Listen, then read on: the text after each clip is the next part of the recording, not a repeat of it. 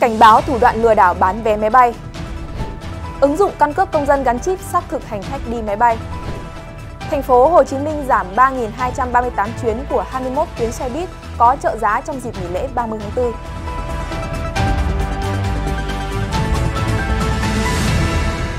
Kính chào quý vị và các bạn. Quý vị đang theo dõi bản tin tiêu dùng của truyền hình Đài Tiếng Nói Việt Nam được phát trên các nền tảng số của VOV TV tiêu dùng. Thưa quý vị, Cục Hàng không Việt Nam vừa phát đi cảnh báo về tình trạng mua bán vé máy bay giả từ các website, tổ chức cá nhân tự xưng là đại lý của hãng hàng không, nhất là trong dịp cao điểm nghỉ lễ 30 tháng 4 mùng 1 tháng 5. Theo Cục Hàng không, phương thức lừa đảo phổ biến nhất hiện nay là các đối tượng mạo danh đại lý, tự tạo ra website, trang mạng xã hội với địa chỉ đường dẫn, thiết kế tương tự của các hãng hoặc đại lý chính thức. Sau đó, các đối tượng quảng cáo với mức giá vé máy bay rất hấp dẫn so với mặt bằng chung để thu hút khách hàng. Nếu khách hàng liên hệ, các đối tượng sẽ đặt chỗ, gửi khách mã để làm tin và yêu cầu chuyển tiền thanh toán. Sau khi nhận thanh toán, các đối tượng không xuất vé và ngắt liên lạc.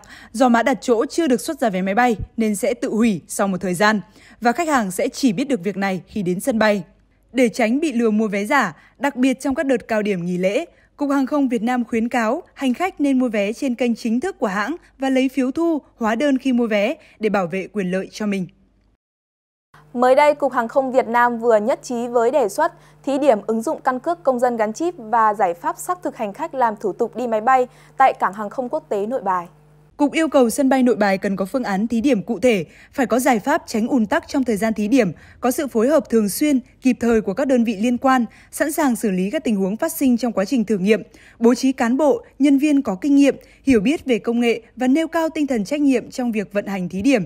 Cục Hàng không cũng lưu ý, sân bay Nội Bài cần làm việc cụ thể, chi tiết với Cục Cảnh sát Quản lý Hành chính về Trật tự xã hội C06 nếu có xác thực điện tử hoặc các dịch vụ khác do C06 quản lý trước khi thí điểm, làm việc cụ thể, chi tiết với các doanh nghiệp liên quan tại cảng hàng không để thống nhất việc thí điểm tổ chức truyền thông chặt chẽ, đầy đủ để thông báo đến khách hàng, doanh nghiệp liên quan biết, phối hợp và tạo điều kiện. Đồng thời, cần thông báo rõ đối với hành khách quy trình thí điểm nhận diện hành khách và việc thí điểm là hoàn toàn tự nguyện, không bắt buộc hành khách.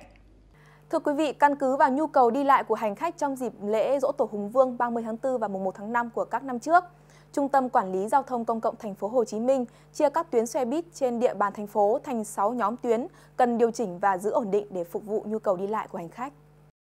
Nhóm thứ nhất tăng chuyến, cụ thể xe buýt số 77 Đồng Hòa, Cần Thạnh tăng từ 60 lên 72 chuyến một ngày và xe buýt số 90 Phà Bình Khánh, Cần Thạnh tăng từ 130 lên 144 chuyến một ngày.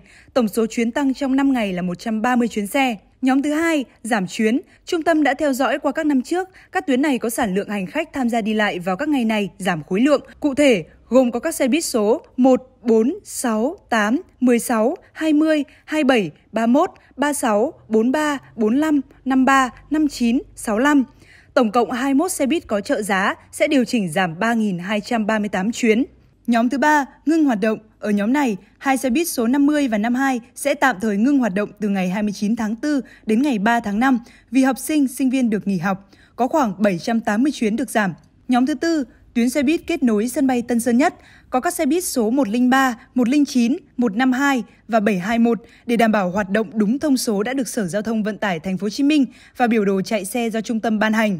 Nhóm thứ 5, tuyến kết nối bến xe miền Đông mới. Tại nhóm này, tuyến xe buýt số 76, 93 và 150 phải đảm bảo hoạt động đúng các thông số được ban hành để phục vụ nhu cầu đi lại của người dân từ bến xe miền Đông mới về các quận, huyện trên địa bàn thành phố và ngược lại. Cũng trong nhóm này, xe buýt số 55 và 56 có tỷ lệ học sinh, sinh viên chiếm khoảng 50 đến 55% tổng sản lượng hành khách. Xe buýt số 55 giảm 190 chuyến xuống còn 150 chuyến một ngày. Xe buýt số 56 giảm từ 200 xuống còn 170 chuyến một ngày. Tổng cộng 5 ngày nghỉ lễ, hai xe này sẽ giảm 350 chuyến. Nhóm thứ 6 là các tuyến xe buýt còn lại. Các tuyến này sẽ không thay đổi thông số hoạt động nhằm bảo đảm tính ổn định để phục vụ nhu cầu đi lại của hành khách. Vâng thưa quý vị, chỉ còn khoảng một tuần nữa là đến kỳ nghỉ lễ 30 tháng 4 mùng 1 tháng 5. Năm nay kỳ nghỉ kéo dài tới 5 ngày nên nhiều người dân tranh thủ đi chơi xa dẫn đến dịch vụ cho thuê xe ô tô tự lái tăng giá chóng mặt. Thậm chí hiện tại nhiều công ty và đại lý cho thuê ô tô tự lái tại thủ đô đã sớm rơi vào cảnh cháy hàng. Chuyển sang thông tin tiếp theo. Công ty cổ phần Anna Marina Nha Trang vừa tổ chức lễ công bố khai thác thử nghiệm công viên bến du thuyền quốc tế Anna Marina Nha Trang, bến du thuyền chuẩn quốc tế đầu tiên tại Việt Nam. Theo thông tin từ công ty cổ phần Anna Marina Nha Trang, công viên bến du thuyền này có tổng diện tích 40 ha, nằm bên trục đường Phạm Văn Đồng, Nguyễn Cơ Thạch, phường Vĩnh Hòa, thành phố Nha Trang. Đây là khu phức hợp trên mặt nước và ven biển với ba chức năng chính gồm khu dịch vụ thương mại bến du thuyền, khu dịch vụ và hạ tầng kỹ thuật, khu tổng hợp với các cầu cảng, cầu phao để neo đậu du thuyền, khu bảo dưỡng tàu thuyền, luồng hàng hải chuyên dùng ra vào bến, cảng, đê chắn sóng, công viên cây xanh và các tổ hợp dịch vụ giải trí khác. Bến du thuyền Anna Marina Nha Trang có công năng phục vụ 110 du thuyền, tối đa lên đến 220 du thuyền với nhiều dịch vụ tiện nghi, đẳng cấp.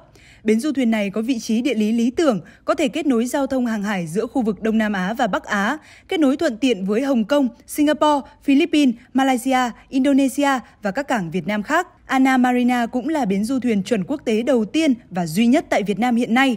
Dự án được phát triển, thiết kế và xây dựng bởi một nhóm các nhà đầu tư Việt Nam như Focus Việt Nam Holdings, tập đoàn Techco cùng các chuyên gia quốc tế hàng đầu về du thuyền. Đồng thời, bến du thuyền này được thiết kế bởi công ty Kemper Nicholson, một đơn vị có uy tín, tên tuổi bậc nhất thế giới về thiết kế và phát triển bến du thuyền.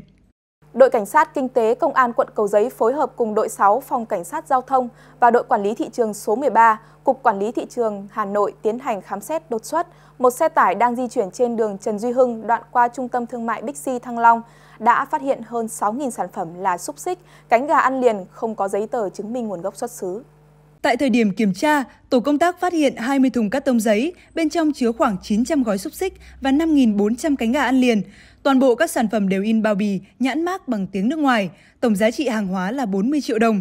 Chủ số thực phẩm là Bàn Văn Đê, sinh năm 2000, thường trú tại huyện Bảo Yên, Lào Cai. Tại thời điểm kiểm tra, không xuất trình được bất kỳ hóa đơn, chứng từ nào liên quan đến nguồn gốc số thực phẩm trên, đồng thời khai nhận số thực phẩm này được đối tượng thu mua trôi nổi trên thị trường, sau đó thuê xe tải vận chuyển từ Lào Cai về Hà Nội để bán lẻ cho các cửa hàng tạp hóa, kiosk bán đồ ăn vặt tại các khu vực có trường học, đông học sinh, sinh viên.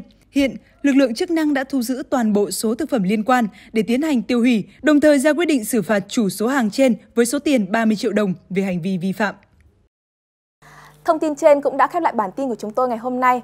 Quý vị đừng quên theo dõi những thông tin tiêu dùng mới nhất trên các nền tảng số của VOV TV tiêu dùng. Xin kính chào và hẹn gặp lại.